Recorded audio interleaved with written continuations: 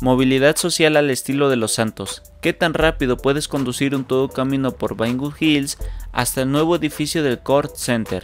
Así es como Rockstar nos presenta el contrarreloj terrestre Galileo Park y en este video te voy a compartir algunos trucos, algunos consejos para que tú también lo superes y te lleve la bonificación de 100.000. Y como siempre nos ponemos al límite de la salida, freno de mano y acelerador al mismo tiempo y comienza el contrarreloj.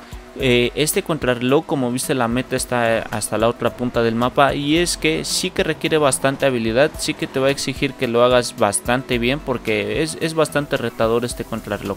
Y bueno, el primer atajo que vamos a utilizar nos vamos a subir justamente por aquí para no, para no dar toda la vuelta y hacerlo en el menor tiempo posible. Seguimos justamente por aquí derecho e intenta no chocarte tanto como yo para mejorar tu tiempo. Aquí podrías irte por la carretera pero yo me gusta irme aquí por la terracería porque también le acortas algo más de tiempo y a final de cuentas quieras que no todos esos atajos sí que nos ayudan en el tiempo final. Seguimos justamente por donde nos indica el mapa y aquí tenemos que ir siguiendo te digo como nos va diciendo el GPS eh, mucho, mucha atención con el tráfico que va saliendo y ten cuidado porque las calles como podrás estar viendo nos mete por calles súper estrechas.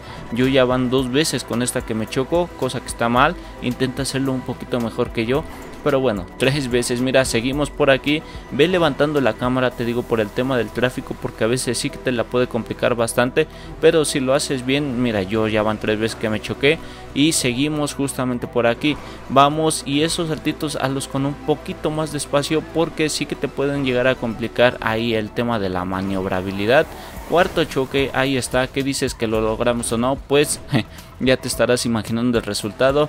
Vamos, vamos a darle, ya estamos casi en la recta final, te digo, tú lo puedes hacer aunque un poquito más despacito, pero sí que puedes mejorar yo creo que bastante mi tiempo.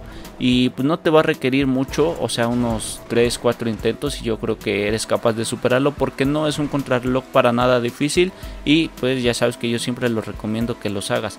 Este contrarreloj tienes 2 minutos con 5 segundos para poder superarlo y el último atajo lo vamos a tomar por aquí para no ir a dar toda la vuelta. Aceleramos subimos por la colina y como siempre pues este esta velocidad punta nos va a ayudar muchísimo a lograr superar el contrarreloj. Yo como te estás dando cuenta me sobró poquito más de un segundo o sea que casi igual y no lo logro pero te digo es bastante sencillo. Yo me choqué cuatro veces y pues terminé superándolo. Así que yo creo que inclusive puedes mejorar por muchísimo mi tiempo. Lo mejor que yo lo he hecho creo que me han sobrado casi 10 segundos como 8 en este contrarreloj bueno en, semanas anteriores que lo he intentado pero te recomiendo mucho mucho que lo hagas Recordarte de independientemente de cuántas veces seas capaz de superar el contrarreloj, solamente una vez te van a dar la bonificación máxima, los 100 mil dólares. Las demás solamente te van a dar mil o dos mil dólares dependiendo del contrarreloj que estés haciendo. Y si este no es el contrarreloj que está disponible en GTA 5 Online esta semana, puedes buscar los demás contrarrelojes que ya he subido. Por ejemplo, le das contrarreloj, nombre del contrarreloj, Tonkatun, le das buscar y te va a aparecer mi contrarreloj. Ya he subido también todos los del RC Bandito para que te guíes y te ayuden a ganar la bonificación que es muy muy buena. Y si este video te gustó o te sirvió, ya sabes, dale like, me gusta, comenta, comparte, suscríbete. Espero te haya gustado y ahora sí que sí, nos vemos en el próximo video. Adiós.